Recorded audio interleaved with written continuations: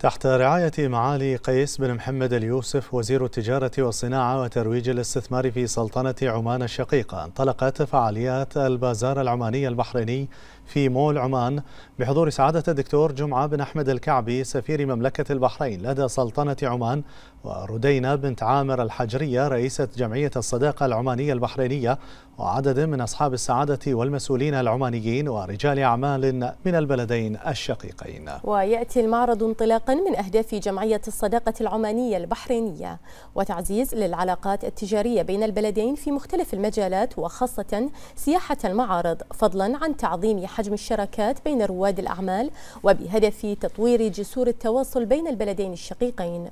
ويشارك في البازار العماني البحريني نحو 38 عارضا من رواد الأعمال والمؤسسات الصغيرة والمتناهية في الصغر من البلدين الشقيقين. ويضم عروضا للمنتجات العمانية والبحرينية التي تشتهر بها كلا البلدين من البخور والعطور واللبان والمنتجات الغذائية والملابس التقليدية والمصوغات الفضية والأحجار الكريمة وغيرها.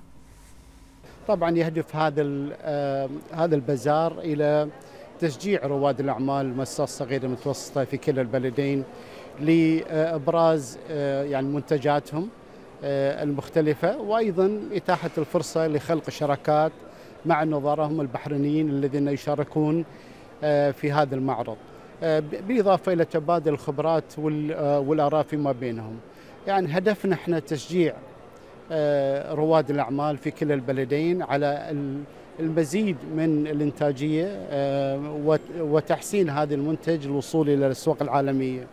نظمت جمعية الصداقة العمانية البحرينية البازار العماني البحريني بنسخته الثانية.